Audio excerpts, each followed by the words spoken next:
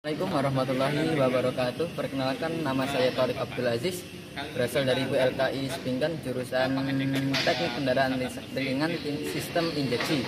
Pada hari ini saya akan mengenalkan komponen-komponen uh, rem brake pada tipe cakram. Langsung saja di sini sudah saya bongkar-bongkar. Uh, bisa kita lihat di sini ada piringan cakram. Uh, tipe piringan ini adalah ventilasi bisa diidentifikasi dengan eh, rongga-rongga yang berada di tengah sini. Kemudian di sini ada yang namanya kaliper. Kemudian di sini ada yang namanya uh, apa itu? Uh, bracket kaliper. Kemudian langsung saja kita bongkar di sana kita akan melakukan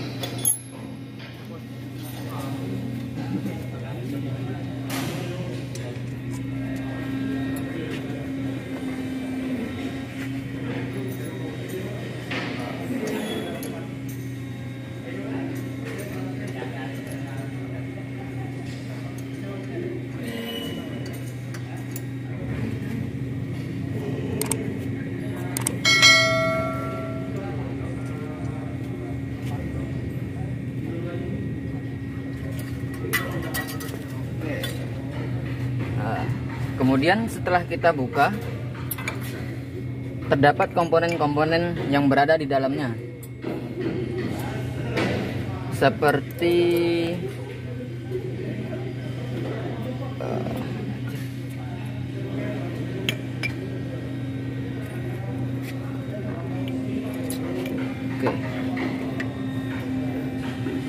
komponen yang berada komponen yang berada di dalam kaliper terdiri dari piston berfungsi sebagai uh, menekan dari kampas rem cakram. Beginilah uh, penampakan dari kampas rem cakram. dari cakram. Nah, kemudian di sini ada yang namanya seal piston. Perlu diketahui bahwa kaliper ini bertipe flexit yang dalam artian hanya satu piston yang menggerakkan e, kampas rem. Yang menekan. Yang menekan kampas rem. Kemudian di sini ada yang namanya selang hidrolik. Di sini kemudian di sini ada yang namanya e, bleeder atau penyetel angin untuk membuang angin Mungkin uh, ini saja yang dapat saya perkenalkan dari komponen-komponen uh, komponen-komponen rem depan dari mobil. Apabila ada kurang ataupun salah, kami mohon maaf yang sebesar-besarnya. Wassalamualaikum warahmatullahi wabarakatuh. Bismillahirrahmanirrahim. Assalamualaikum warahmatullahi wabarakatuh. Perkenalkan nama saya Tarik Abdul Aziz. Saya dari BLK Balikpapan Sepinggan di sini saya akan mempresentasikan pelajaran tentang uh, sistem pengereman pada mobil yang berupa sistem tromol. Langsung saja.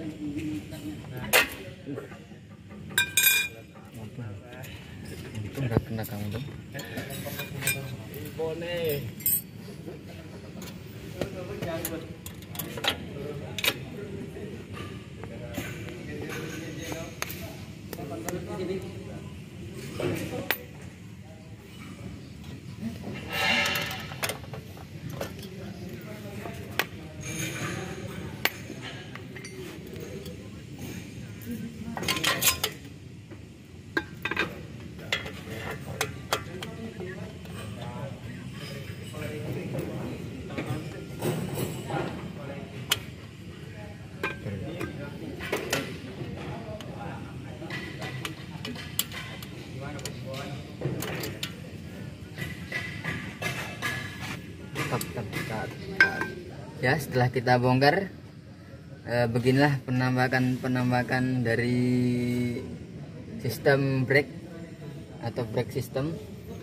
Yang di sini ada kampas. Ya ini kampas. Eh, bahannya nanti bahannya bisa dicek di Google. Kemudian di sini ada sepatu sepatunya sepatu kampas. Kemudian di sini ada sistem eh, pengereman tangan untuk pengereman tangan. Kemudian di sini ada pin yang bisa eh, menahan dari sepatu ini untuk supaya tidak lepas-lepas di saat kita memasangnya. Kemudian di sini ada kabel handbrake tuas handbrake atau kabel rem. Kemudian di sini ada satu lagi eh, apa itu namanya? Return spring. Supaya saat kampas eh, menyentuh atau membuka dia akan mengembalikan posisinya ke sedemikian mula. Kemudian di sini nah ini ini ini adalah tromolnya. Tromolnya seperti ini penampakannya seperti mangkok bakso oke langsung saja kawan-kawan. Setelah kita bongkar langsung kita racik kembali.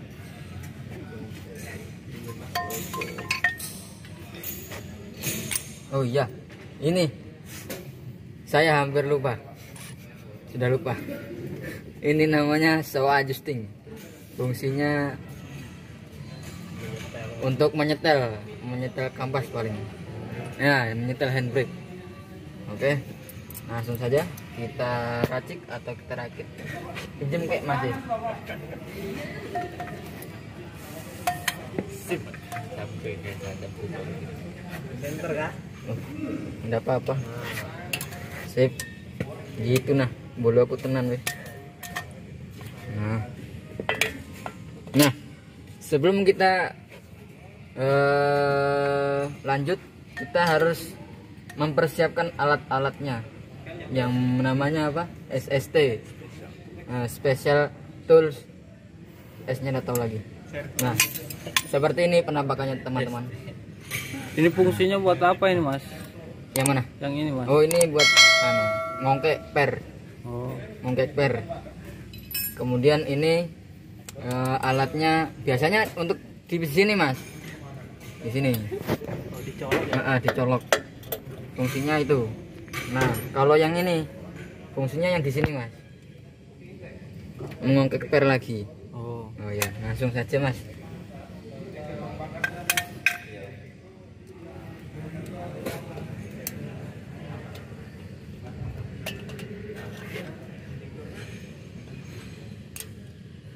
Eh?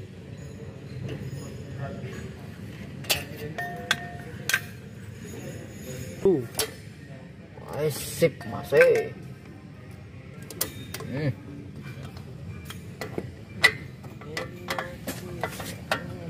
nah kemudian kita pasang penahan dari sepatu supaya tidak goyang-goyang mobilnya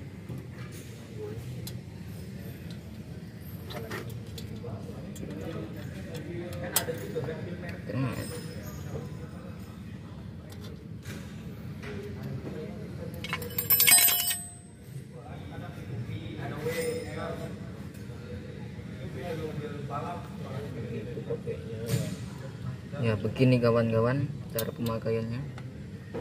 Terus disogrok sogrok nah sip. Begini penampakannya hmm, kemudian kita pasang lagi. Yang ini kawan-kawan. Baru mau buku selesai kan. Sempat sebentar ini. Sempat itu sempat kok.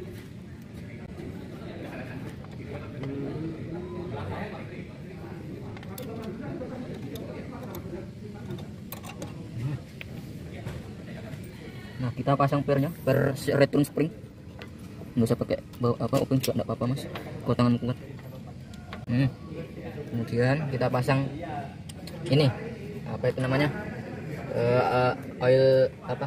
So adjusting so adjusting so adjuster ini Isinya apa mas? anu buat anu mas. Katanya mas Diki buat anu apa menyetel mas? Wih, tantu.